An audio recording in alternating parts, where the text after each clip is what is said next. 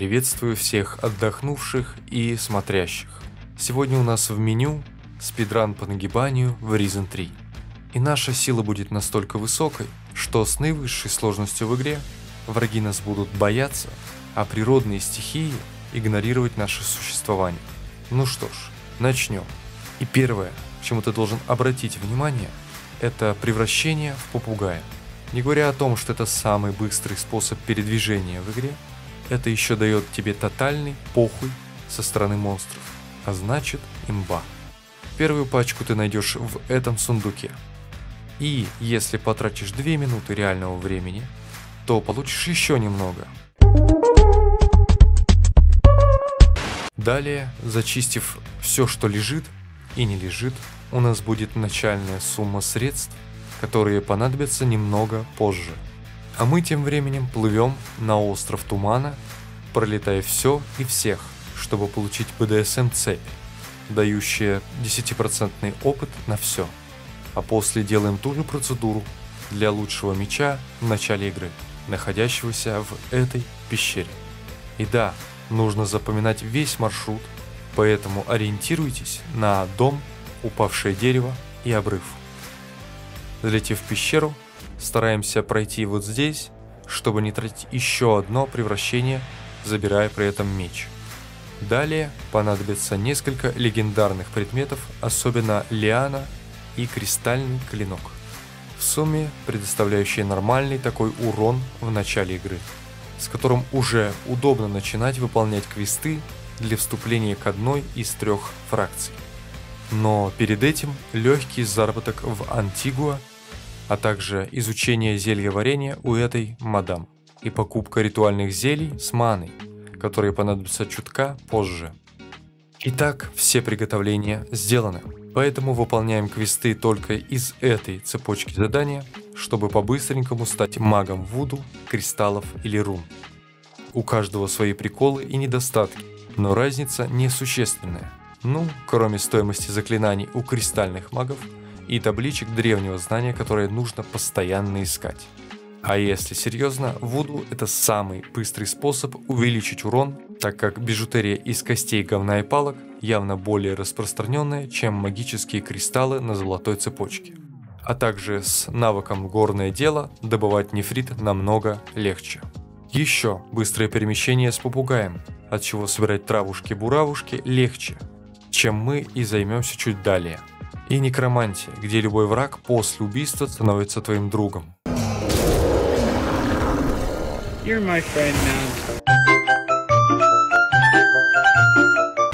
Магия кристаллов.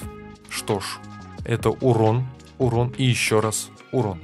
Не в смысле много, а в смысле разнообразно. А также ломание замков и почти все виды гляделок.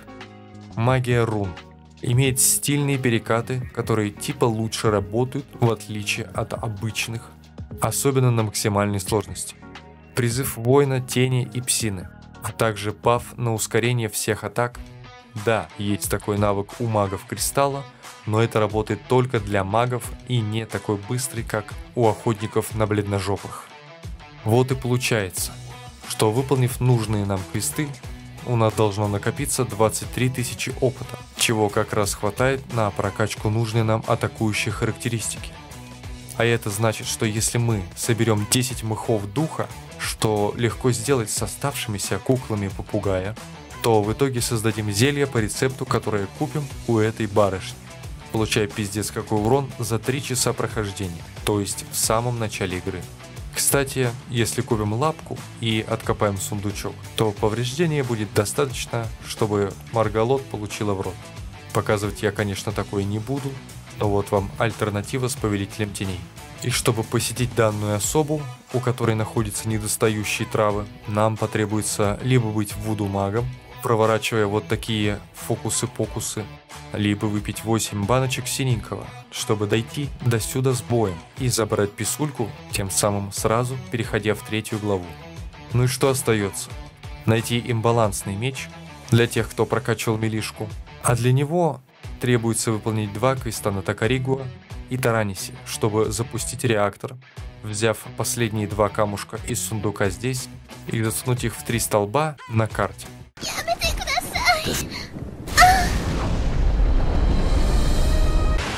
Тем самым открыв пещеру для исследования.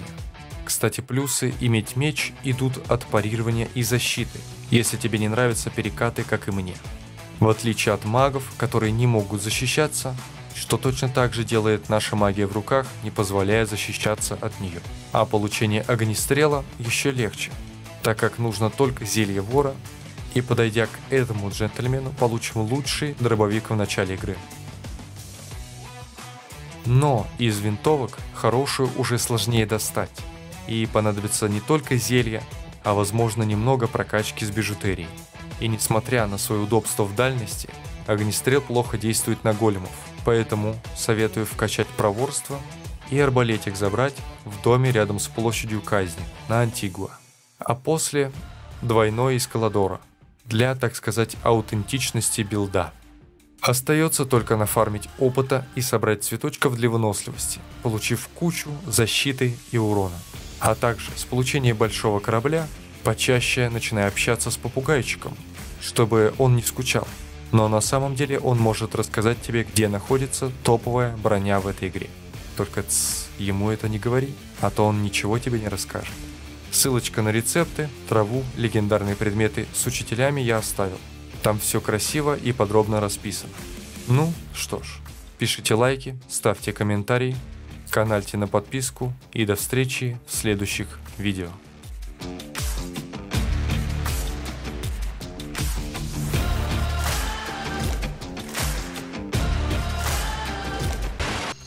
Ono Ono Ono bambule guccio